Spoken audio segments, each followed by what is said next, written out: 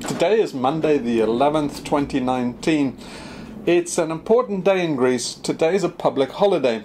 It's called Kathari Deftera, which means clean Monday, or a really cathartic Monday. Um, is the root word of catharsis, which implies purgation. It implies cleanliness and rejuvenation in some respects. Uh, the English word is a Shrove Monday or Shrive Monday. Shrive is from the German Schrift, uh, it means to write. In essence, it means writing down all your sins. It's a confessional time, a time for renunciation, and a time for atonement. The time uh, is leading into Lent, and it's the 40 days before Easter. So the rebirth, uh, the spring festival, in other words, is all about uh, this time. This is the last day of Carnival, so this is the last day of binging, and I must say that I'm really pleased about that because I haven't got much sleep. Uh, the the noise uh, is just been deafening. This beat of the music all until the break of day for the past few days. Um, fireworks and and costumes. It's um, it's an amazing festival, uh, but it's all the sins, uh, big blowout uh, before the austerity of Lent. And this is really relevant to to what I'm talking about uh, today, and that's those awful, awful five stages of grief. So, now, why it's relevant is uh, if you have come to the uh, the great. Uh, here's a, a Greek word for you. Um, anagnorisis. Is is the moment of realization of really a, the protagonist in a tragedy, um, particularly a Greek tragedy, uh, when they realize particularly that they are screwed. So, very apropos to where we are today, if you have finally come to the conclusion that you are a realist and there's no escape. Uh, there is an imminent and abrupt climate change event coming that will probably lead to human extinction. And once you've you've got that, then really you enter this grief period. So now the narrative of this Abda, uh, this uh, um, or Dabda rather, is our cultural go to point for the stages of grief. It came from uh, a, a, psychiatrist called Kubler Ross, and she uh, was just studying how people really coped with death and the news of something like a terminal diagnosis, kind of what our whole species has got now. And then uh, she came up with these five stages of grief. Now, this is truly, truly awful, awful narrative. Um, and there are a number of reasons why. First of all, it's too linear. So the Dabda thing, you go through denial, anger, bargaining, depression, and then finally acceptance. Okay, it's too neat, it's too compartmentalized, and it's far too linear. You will go through basically washing machine cycles of Dabda. So it's really cruel to tell people that it's just this linear slide into limbo and then annihilation. Um, that's the first thing that's wrong with it. And to be fair to Kubler Ross, she did come out later and say that she regretted coming out with these five stages of grief because they were, she did specify them as two packets, packetized and, and linear. And really, what she said was she was just trying to describe the coping mechanisms that people came up with to cope with their, their death anxiety and their grief. Um, yeah, that's fine, but uh, as usual, the people that are worst at psychology is psychologists, and it's very obvious that it would be made linear, that her her theory would be co-opted to be exactly what it is now, and a theory that basically is a narrative for slaves, wage slaves like you. So what they the narrative is trying to present to you is that life is this interminable treadmill. It's a you have to labor, labor, labor, labor. That's the only way to stay alive. And if you fall off the treadmill, it's just a slippery slope, a slide down to acceptance. Just bonk, bonk, bonk, bonk through these stages to acceptance. And it's very important that you buy into that narrative. It's very important for the plantation, for this whole labor camp that is uh, America, the Western world, civilization, just one giant labor camp, and you're a wage slave in it. To keep this labor camp going, it's very important that your exit follows that narrative. I want to break that narrative with you, particularly this part which runs by the name of acceptance. Now, Kubler Ross really was just describing what people came up with as a coping strategy, and was natural that they would uh, start off with shock and denial and then go into uh, anger and bargaining stages. Um, that was all kind of uh, because our culture doesn't have a script. That was a natural script for people to improvise on their own, and she just was, in some sense, reporting that. Now, there is another script for how you are supposed to die nobly uh, that has been expunged from our culture because it is a slave culture. Uh, and the important things for slaves not to realize is if you fall off the treadmill, there must be no hint that anything good comes from that. The worst thing of all is if you fall off the treadmill, somebody falls off and then reports back to all his fellows or her fellows on the treadmill that it's great. Fall off the treadmill. The treadmill is crap if you you know get to the uh, Chestnut Tree Cafe, it's a fantastic time. It's uh, you know break the treadmill, make yourself free. Uh, that is the worst narrative for the establishment. So they love the idea that you buy into this, uh, just slide into limbo, which is the waiting room of bleak, dark, somber place, which is one of the circles of hell, you know, according to, to Dante, is, a, is the limbo state, just waiting in the antechamber for oblivion. Um, it cannot death row, hospice, any end of life scenario cannot be cheerful in the slave narrative. Uh, and it's very important to keep slaves slaves. So, uh, what is the forbidden narrative that really has been expunged, almost excised, like Newspeak, uh, 1984, George Orwell Newspeak, where you have all the vocabulary of the end of life hospice scenario excised, so that uh, it just seems like a very negative place to be in and really something to be avoided at all costs. So it keeps you running on that old treadmill and keeps you going in the vast labor camp uh, which we so adore and call civilization. So part of this narrative uh, that's been lost is a rich vocabulary of things like catharsis. The very word today of cathari catharsis is one of the forbidden stages after acceptance. You never really get this linear slide down this progression to final acceptance. It's just a huge myth.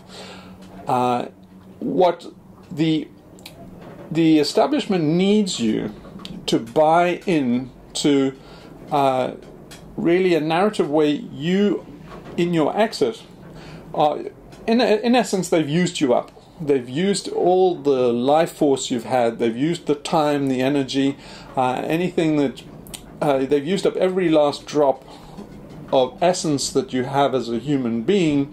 And as psychopaths and managers of this system, they've sucked it all up for themselves. So they've stolen your life for, from you. Now, when you get to your end of life and you become like on Animal Farm, you you know have to be sent to the knacker's yard if you're the old horse, then when you put out to pasture, pasture has to be some place that's horrid and to be avoided. Not only that, but in essence, they're sending you off to the glue factory. It's basically the gas chamber. So it's very necessary also for the elites, the elite psychopaths, uh, for you to legitimize the fact that they've stolen your whole life from you. Now, on a very large scale, they've stolen life from every living thing on this planet. Our leaders, uh, all these psychopathic billionaires, um, these uh, people that have controlled the system for 8,000 years, church and state, the good cop and the bad cop, it's very important for them that you legitimize your slavery and their theft by going meekly and complicitly into the gas chamber. If you fight or object in those final moments, you delegitimize the fact that they stole your life and the life of every species now, probably on the planet. So we are now at the stage, the end game, where all of us, in essence, will be put into death camps, uh, literal death camps, in terms of there'll be FEMA death camps, there'll be DHS death camps, there'll be ICE death, camp, death camps. Uh, you you are probably in a death camp already in some cubicle hell in a corporate workplace. Um, it's it's really a cell, uh, and the way these psychopaths work is with cells. You then incarcerate people in cells. The very word cell, the, the cell for, uh, say, an organism, um, uh, uh, say a bodily cell, that comes from the first people that observed them under microscopes. They thought that they looked like cells of monks. The monks, of course, were enslaved by the church and they took vows of poverty and chastity, basically, so the church could have all the loot. So, now, a cell is really just a big square. All these camps are really frames, um, boxes. And so there's the narrative of this slide into acceptance of your death chamber. So the uh, the five stages of grief then are little boxes, uh, and then they enclose your whole annihilation in in a nice little neat package, a box. So this box theme comes up again and again and again, and I've blamed it really on this intellectualizing part, the inner psychopath what I've called the alien cortex, really mostly on your left brain, just a thin core on the outer rim, the bark cortex means bark, uh, the outer cortex of your brain, in essence, the the last part to evolve and the part that is the lawyer inside you and the quintessential psychopath. It suppresses all the other layers so that uh, clinical uh, psychiatrists can see in psychopaths that they have diminished function in the normal human parts and in the parts that are more primate and um, in reptilian, mammalian, uh, the more fish-like parts of your brain. They they have those parts really suppressed by this outer layer and now the what we've done as a, as a culture is we've glorified this. We've glorified psychopathy and the suppression of the lower layers, uh, particularly because um, it promotes domestication. It promotes infantilization, uh, anything to do with docility, uh, so that you can be found in really this big labor camp, and this labor camp is a big square a frame in essence, a big box.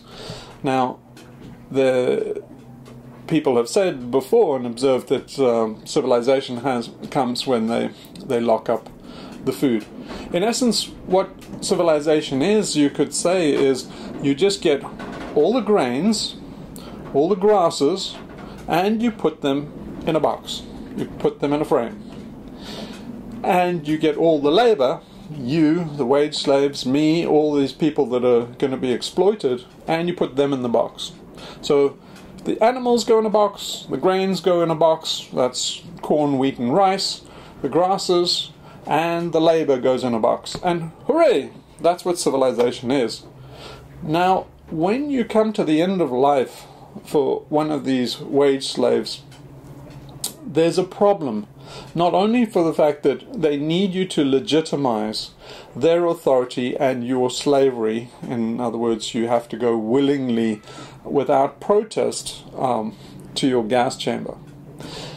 Uh, this is problematic, really problematic for the establishment. And uh, it's very important that you you go quietly into into the night and uh, don't object. So there's a poem um, here that I would uh, that's that's very relevant um, to this, and it's T.S. Eliot's uh, The Hollow Men. So it's very important that when you a husk you husk of a human left after they've taken, they've taxed you to death, they put stress on you to make their projects. Uh, uh, to meet their project deadlines, they've kept you under the clock and they've kept you really cranking in this mechanical way, in this mechanical system. The essence of of civilization is is this extreme tedium, uh, this um, this boredom, this mundane um, uh, really it's almost like root canal therapy. It's like waiting in a in a dentist chair almost. Um, they they hide that from you. When you're taught in school to think of civilization as uh, Michelangelo's David and uh, all these wonderful things like writing, good grief, um, and uh, really to, to glorify your, your slavery, uh, all these little things like, you know, accomplishments in medicine and getting to the moon and uh, flight and all these things which now in total have wiped out our species. So you can see that it's all a lie and it's all bunk. You can see that now just as soon as you're a realist. But for the average person that's pre-realist, they still taught to glorify civilization and glorify the incarceration. And so T.S. Eliot was really writing about that when he wrote the the Hollow Men. And uh, the the key part that everybody remembers about the Hollow Men is that the final line it says, "This is the way the world ends, not with a bang, but with a whimper."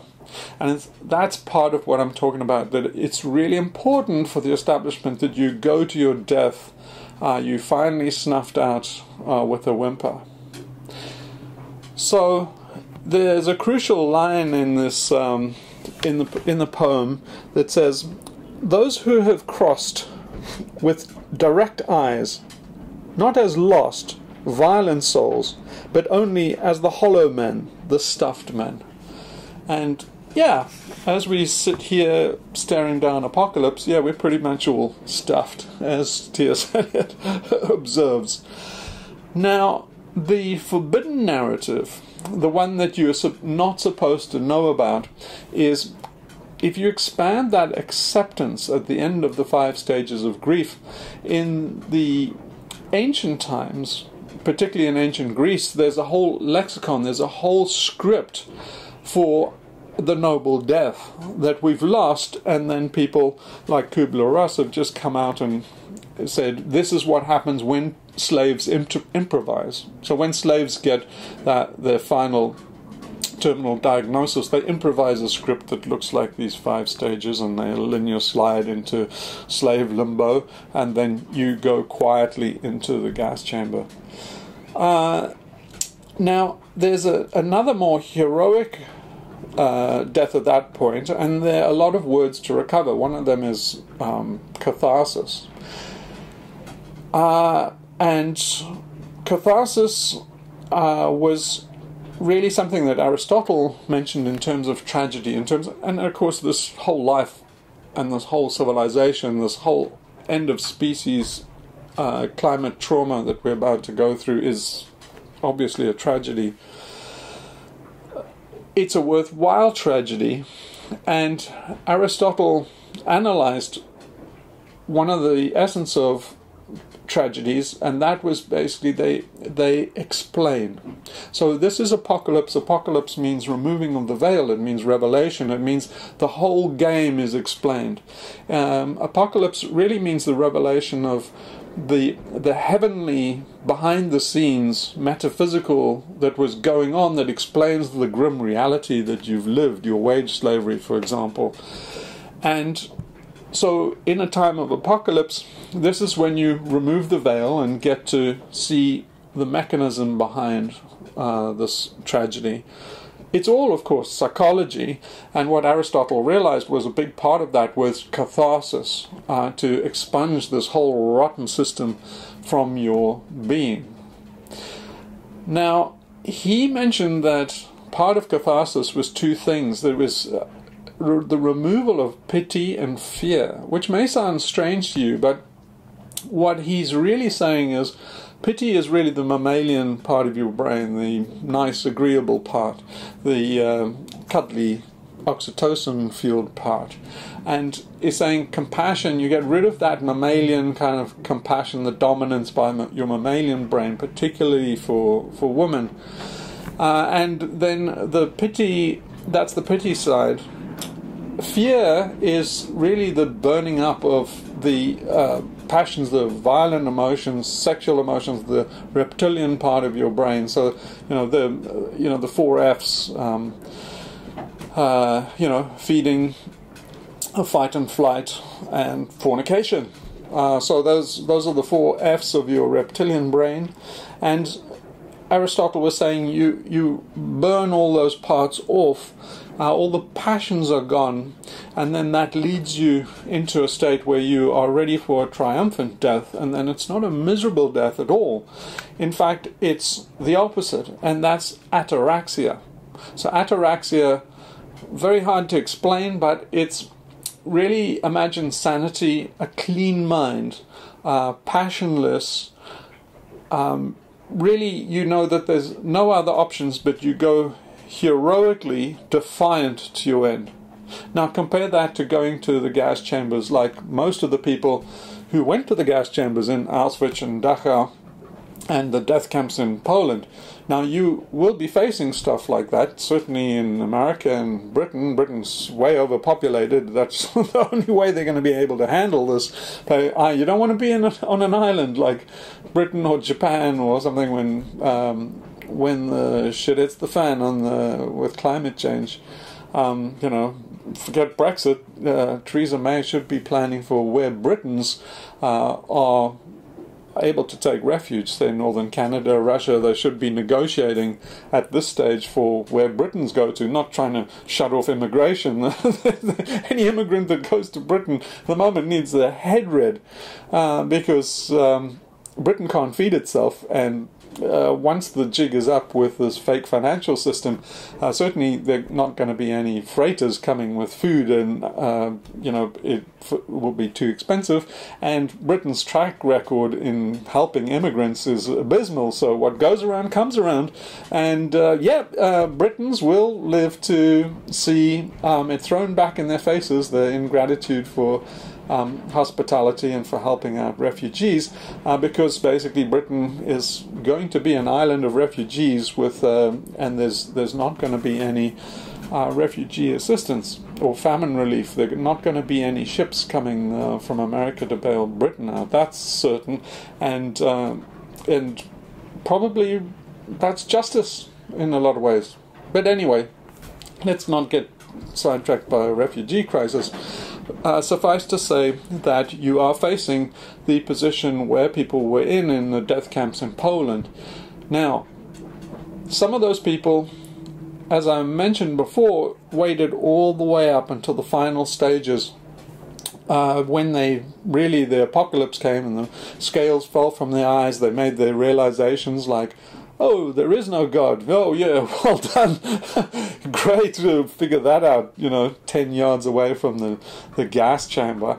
Um, so, uh, in that environment, the elites are very, very vulnerable. Now, the reason they're vulnerable is uh, because you will be on dead ground. It's what's called dead ground. What dead ground is, is uh, Sun Tzu in the art of war. He was a a psychopath of gargantuan proportions uh, in China, and he wrote the book on war. Uh, can't get more psychopathic than that, I don't think. And he spelled out one of the things that all generals have have known intimately, um, can figure out for themselves without Sun Tzu.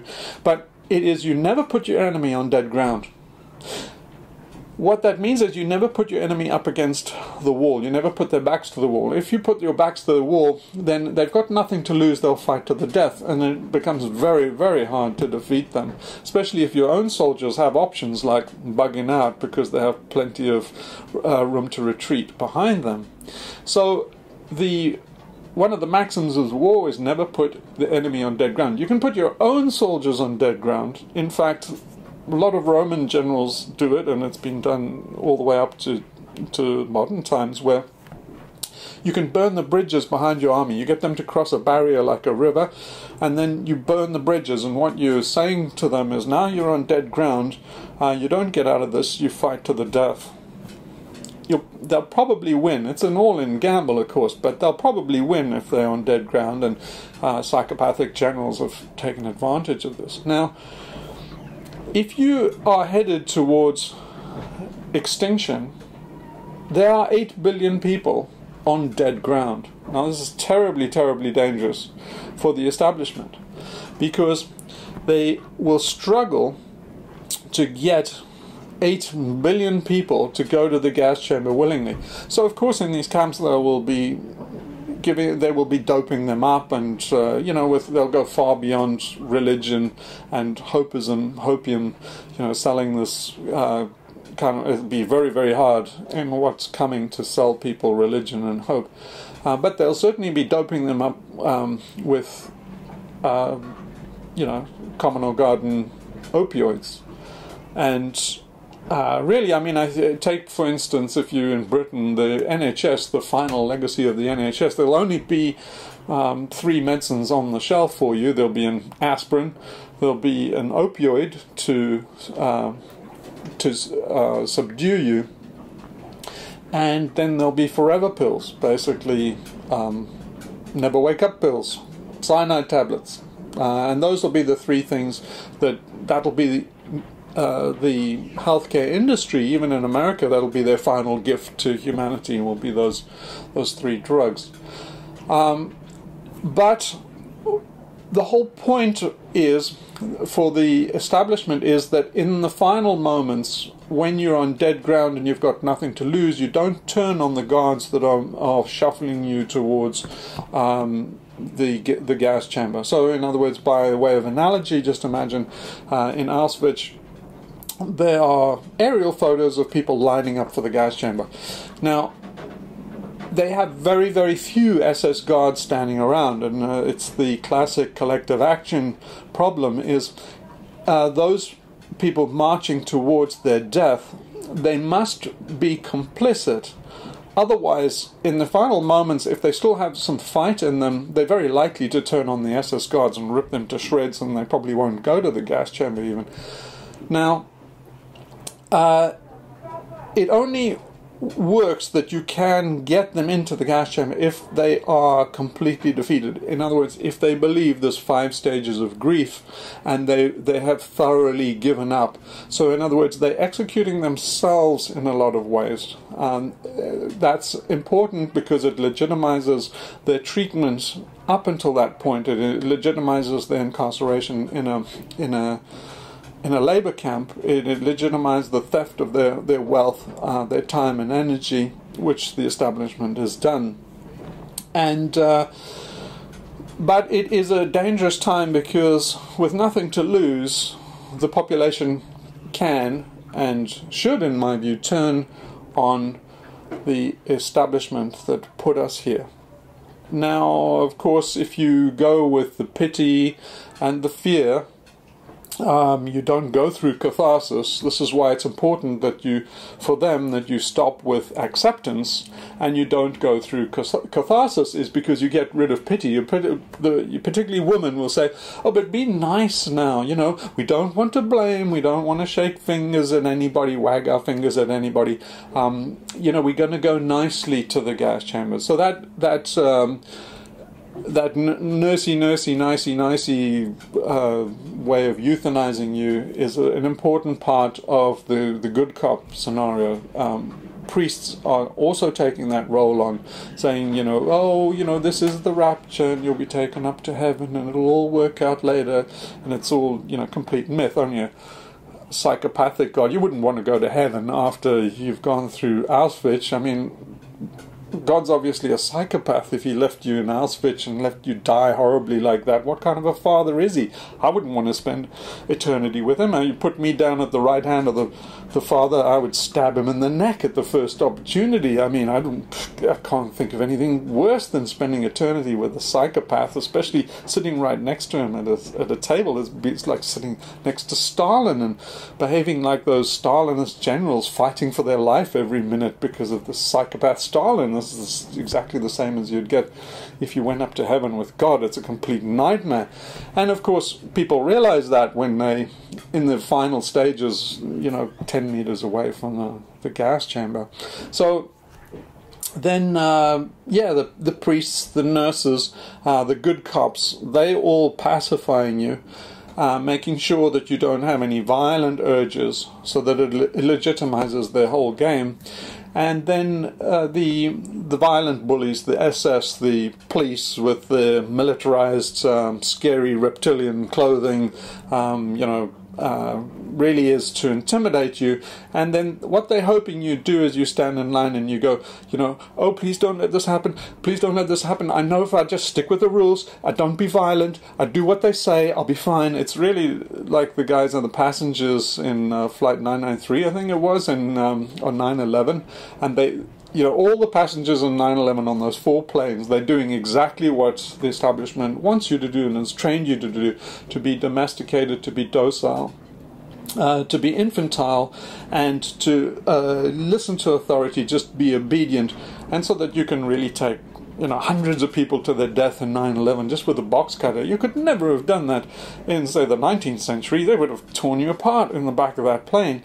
But you, modern day people have been so domesticated and been so trained for their own death that really the 9-11 hijackers exploited that. They just exploited uh, your domesticity and docility.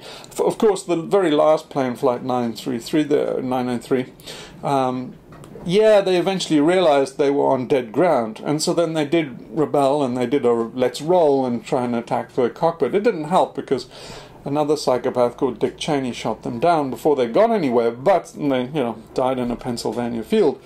But the point remains that that what they're hoping you will do is go. Uh, if I just obey the rules I, I've been taught, uh, don't be violent, obey the rules, everything will be okay. Now, the, the SS guards are telling you, you know, you know the rules, obey the rules, and everything will be okay. And you're 100 meters away from, from a gas chamber. You know things are not going to be okay, but they keep on telling you this, you know, obey the rules, obey the rules, you know you must obey the rules. And so, you know, most people will do that. They'll obey the rules until it's uh, too late and they will go quietly into the night as um, they'll go out with a whimper instead of a bang, uh, just as T.S. Eliot said. Now, the bang is a is a global rebellion. Um, why it makes sense to do it is because it fulfills your meaning as a human being. If you go the other way, the ancient Greek way, to uh, catharsis and then all these other forbidden things like the hieros gamos, which I must get onto uh, later, there's a rich vocabulary of this. Uh, Chestnut Tree Cafe, this acceptance phase, this little box of limbo that you're not supposed to look at, you're not supposed to know about. Now, what's the correct way to view your apocalypse is what I've mentioned before, and that's um, an amusing apocalypse, but way more than an amusing apocalypse, a hilarious apocalypse. That's the fulfillment of meaning. If they, uh, if you reject your fate as a slave, you name both aspects of God, the good cop, the bad cop, the, the matriarchal and patriarchal forms of God. Um, if you if you blame both of them and say no, that's foul. This whole game is is a foul. Uh, my extinction is illegitimate. Uh, then that gives meaning to all our lives as wage slaves, even our ancestors. So not only uh, does that delegitimize them? It gives meaning to us and our ancestors if you die uh, with this noble formula that leads to It doesn't avoid death, but it leads to a noble death. So you can die with a whimper and be a sheep all your life. Um, it's it's your if you're right if you if you want to be the sacrifice. But part of uh, this hilarious apocalypse is sacrifice. Now, what do I mean? Well, let's go through the word hilarious. Hilarious comes from hilaria. It's it's from joy, but hilaria is the ancient rites in Rome. The religious rites. So what the hilaria was was the religious rites of Cybele.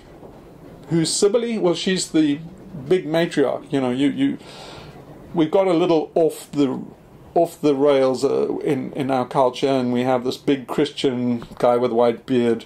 Um, he's he's really Father Time. He's death. Um, you know, guy with a scythe. Uh, that's who Yahweh is. Allah, uh, Jehovah. That's the we've gone a bit patriarchal in our Christian fantasy, uh, but the older world knew um, similar, very equally onerous um, and odious um, matriarch figure who who is uh, Cybele Ishtar Isis. Uh, she's been withered down to being little Virgin Mary, you know, basically the Holy Ghost. So the Trinity, Father, Son, and Holy Ghost is really the Holy Ghost is really Mary. Uh, she's she's the goddess. She should be. She used to be in ancient times superior to the patriarchal God Yahweh, um, but Yahweh got a bit overblown. Uh, Yahweh Shiva, all the male aspects got a bit patriarchal and overblown, and Mary in Christianity got beaten into this tiny little, meek little, inconsequential Madonna figure. But anyway, let's not get too too much um, into that. So suffice to say that the matriarchal figure is Cybele, and in Cybele's rites, in ancient Rome uh, around about this time. These this time that I mentioned now, not quite now. It's it's really on the vernal equinox that her rites started. Basically, the fifteenth of March. It's only the eleventh today. So her rites started on the equinox. They basically the spring story, the story of Persephone taken to Hades, um, and uh, you know Zeus, Deus, God, the patriarchal God, allowed Persephone to be taken down to Hades and raped. Essentially, that's you, the, the wage slave. Uh, God allowed you to be taken into a cubicle hell or into a factory or into an army and basically used as fodder, uh, raped, in other words, uh, like Persephone was in, in Hades. And then this is the time of spring where she's resurrected. The Christian cult is uh, St. Paul's cult is also based on this resurrection. It's uh, although biblical st- scholars absolutely loathe you talking about it, it's it's true. It's it's Attis. So Attis and Cybele. Attis is um, Cybele's consort, and Attis is her son and lover. So Attis is really Jesus. But anyway, you we'll we'll get onto that later, and scholars' hair gets on fire if you say this bit, but it, it is. So then, um, in Cybele's rites, round about now, in the resurrection rites, uh, called the Hilaria, and we're supposed to have a hilarious apocalypse. Uh, Hilaria was the day of joy. So the day of joy is uh, around about the 25th of March, I think. There is a day before that, and that's the day of blood. So you can't have the day of joy without sacrifice, the day of blood. Now, the question is who gets sacrificed? Up to now, it's always been the weak ones, us, the meek, at the bottom of the pyramid. A true fulfillment of our destiny and meaning to to all our ancestors is if we do if we flip this over, if we do the impossible, we sacrifice God. We sacrifice the matriarch, the patriarch, represented by our pathological leaders, uh, the generals, the presidents, uh, all these academics, all these people that are supposedly leaders. We've we've glorified them as leaders. Leaders is they will sacrifice us. They'll put us in the gas chamber as a sacrifice uh, to stave off and legitimize their crime. The alternative is to sacrifice them. So the ultimate uh, Promethean fulfillment of our destiny is to finally turn around in the apocalypse and put them on the altar. Sacrifice them. So, what happens in the collapse of civilizations, if you look through the Inca, the Aztec, the Olmec, they, as they collapse, they start putting the weak, children, um, women, uh, on the altar as a sacrifice to this impending doom. Now, it's just basic psychology that the psychopaths in charge of us, um, you know, presidents, prime ministers, Nobel Prize laureates, they'll be doing exactly the same thing to us. They will start sacrificing us and then carry on sacrificing us at an ever more furious rate as climate apocalypse um, gets closer and more severe as the four horsemen start to chew up humanity in this time. Uh, they'll have a very ignoble mass sacrifice of us, the people. We, if we allow it, we will wind up in this meaningless annihilation, this meaningless Holocaust. All the suffering of the last 8,000 years is only made meaningful in, if in the final instance we turn around and we say, No, j'accuse, that I will not go quietly into that night. I will not go out with a whimper, I will go out with a bang.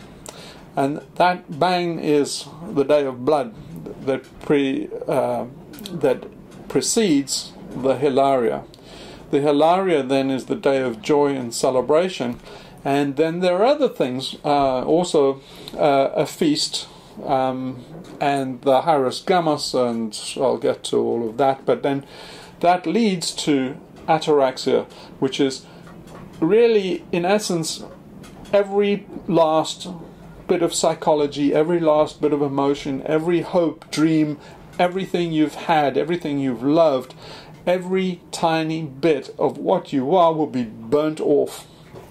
And uh, what will remain is nothing but this person with a clean mind standing against impossible odds in a last stand, an impossible last stand against the consequences of our actions, which is apocalyptic climate change. So,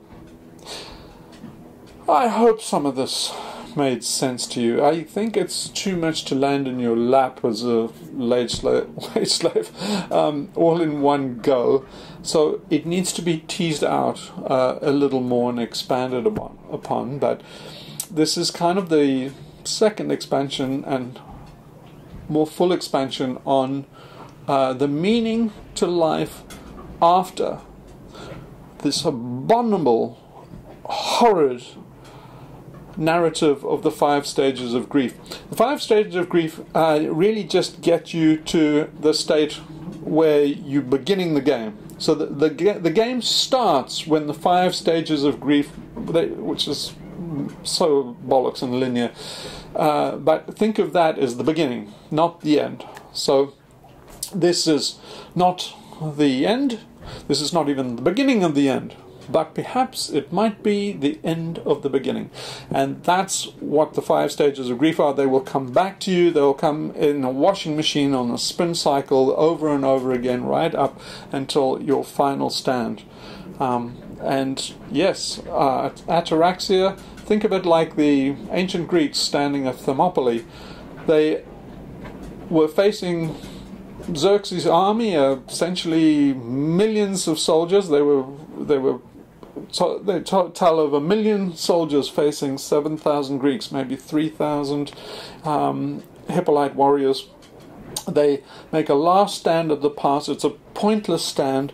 There's they can't make a dent in the Persian army. The Persian army is coming out for revenge after the the um, the first Greek war um, against Persia, and there is nothing. They can't run. They can't save themselves but they go down fighting and fighting on dead ground with such severity that by the time Xerxes got through them, he had real pause uh, to think that he was making a big mistake, which he was. Uh, but really, it's the first sign that that what those soldiers of Thermopylae were saying was they were delegitimizing the tyranny of Xerxes. So if you go quietly into the night, you have legitimized all the wrongs that have been done for 8,000 years or more. And so that's why I say it's not the time to wallow in depression, it's not the time to wallow in acceptance. Uh, it's the time to find your metal and to find uh, what it means to be Perseus and more than steal fire from the gods, steal righteousness, steal courage, and steal consciousness from the psychopaths. And that's what it means to get beyond these horrid, horrid five stages of grief.